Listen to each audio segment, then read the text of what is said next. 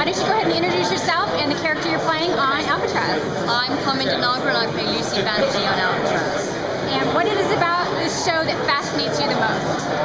Oh my gosh, it's uh, well, just the intrigue of prisoners disappearing in '63 and coming back in present day is enough to keep me interested. Quite frankly, sort of like chasing these ghosts that are sort of there but not really there. It's um, I think it's going to be really intriguing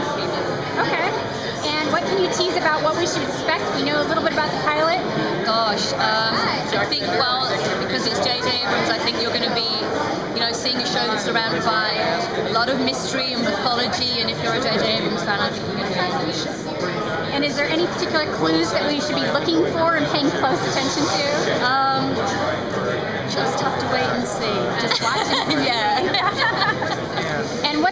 Idea that these characters, each and every single one of them, has their own little secret that they're trying to protect? Yeah, I, I mean, I love that because it really gives us something to play with. So the fact that you know we all sort of have our own little agenda with what's actually happening in the broader scheme of the story is just fantastic. It's another layer we got to yeah, kind of delve exactly. It just gives it a lot more layers, as you said. Okay.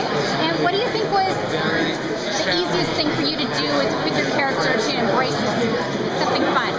Oh God. Um, the easiest thing for me to do is, to be honest with you, we've got such a wonderful cast that it's hard not to sort of get swept away with the whole chemistry and way we sort of just interact together. So I think that's sort of what makes it fun.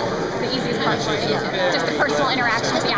You know, it makes it so much better when a cast gets on off screen. I think it really shows off screen.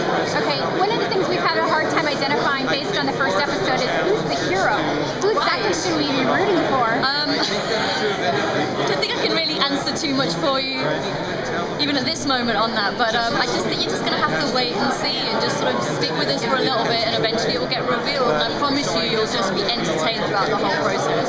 Okay. Well, we're looking forward to it. Thank you. Thank you for your time.